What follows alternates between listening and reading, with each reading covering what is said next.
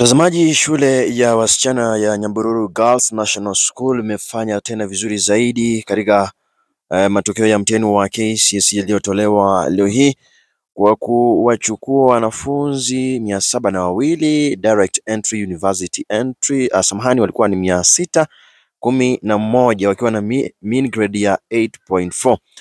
Wanafunzi waliopata alama ya A walikuwa tisa, A minus 47, B plus 131, B plane 161, B minor 138, C plus 125, C plane wakiwa ni sitini na tisa, alafu C minor ni ishirini na moja.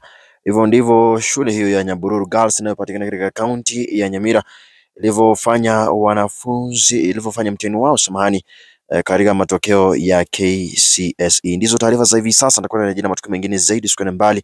Hii ni Erwan Media, kituo number 1 kote nchini kwa masuala ya habari, elimu na hata burudani. Zidi kusubscribe, hapa ndipo nyumbani.